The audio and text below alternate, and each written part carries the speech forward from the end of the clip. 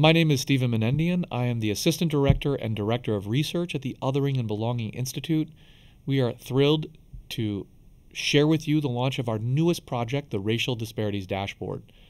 I'm the project lead, but I've worked with a wonderful team of folks who've been involved in this project. This video is designed to walk you through it and help you understand a little bit more about this project, its goals, and how to use this dashboard. So, to begin, this is a dashboard that is focused on disparities, specifically racial disparities. A racial disparity is a persistent difference in outcomes between racial groups. So, by outcomes, we're looking at key life variables. And in this dashboard, we have selected 15 that we think are particularly important. They are pertain to educational outcomes, to health outcomes, to civic participation, and to economics, and much more. The first goal of the project is simply to make all of this data accessible in one place. Right now, there's no place on the internet or elsewhere that you can go to find data about disparities on these key outcomes. So, the first way to use this dashboard is you click any one of these 15 indicators, and these bar charts pop up. The bar charts on the left hand side are going to be from 1970 or thereabout, and on the right hand side for 2020. And what we have here is the black American outcome in 1970. So for bachelor's degrees, you can see here that 4.5% of black Americans in 1970 held a bachelor's degree, while 11.6% of white Americans. This yielded a disparity of 7.10%. The difference in outcomes or performance and educational attainment between black and white Americans. Now, you'll notice in 2020 that the percentage of both racial groups that have attained bachelor's degrees is significantly higher. But one of the problems that we see is that the disparity is actually larger. So, this is something that you'll notice in a few of these variables is that performance has improved, but disparities may have gotten larger. So disparity is actually a kind of complicated thing. It's not just, you know, a static thing, it's something that's dynamic. And one of the things that we want to dramatize visually is whether the disparity is getting larger or smaller. And that's another goal of this project is we want to dramatize and juxtapose progress with regress, which is why we've also created this progress grading report card. And what it does is it looks at four different inputs it looks at whether the disparity has gotten larger or smaller in an absolute sense. Number two, it looks at whether the disparity has gotten smaller or larger in a relative sense. So we just looked at uh, bachelor's degree attainment rates, and we noticed the absolute disparity is larger, but on a relative basis, it's actually shrunk. So our summary chart at the bottom actually shows that.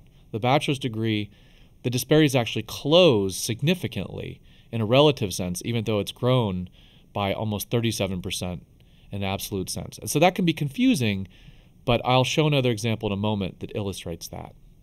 Third, we wanted to measure progress not just by change in the disparity, but the absolute improvement in performance, particularly for black Americans.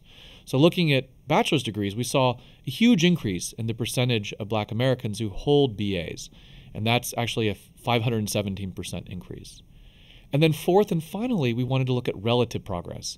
It's not just enough to have absolute progress. If white Americans' performance is outpacing that of black Americans, then even if black Americans are improving on an absolute basis, the disparity will get larger.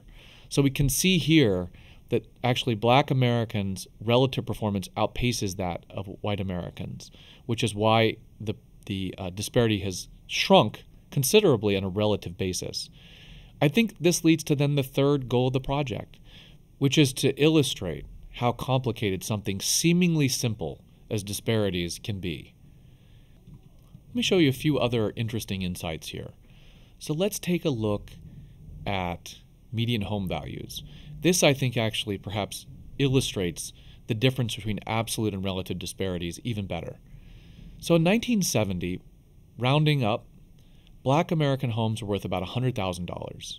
White American homes are worth about $150,000. That yields a disparity of almost $50,000. Well, you'll notice in 2020 the disparity has actually increased to $65,000. But on a relative basis, it's much smaller, which means that, in some sense, if you project this out forward, the disparity is on track to close. And we actually see that when we calculate the rates of change. So in our summary chart, you'll see under median home values that the relative disparity has closed by 43.48%. And in terms of relative progress, the black rate of home value appreciation outpaces that of white home value appreciation, even though black homes have appreciated in the 50 year period by almost 132%. So, this illustrates, I think, the complexity of really trying to understand the dynamics of disparities. To illustrate progress, we really want to know are we on the right track? It's not just a matter of whether the disparity has shrunk or widened. We want to know in the biggest picture, the widest lens, do things appear to be improving? And I think our dashboard shows you here. Right? You can see areas of progress and you can see areas of regress. In terms of voting rate disparities, black Americans have almost caught up. In 2012, black Americans actually voted at a rate that exceeded white Americans on a proportional basis. There's still a significant gap, but it's not nearly as large as it was in uh, 1970, and I'll show you that right here.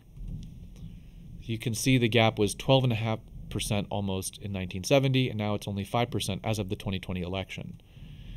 Um, to see a description of how these four variables um, explain the grade, you just click, as I just did, the, the report card. It'll have an explanation with the blurb for each of the inputs, and then you might reasonably want to know what do we do about these problems? How do we reduce these disparities?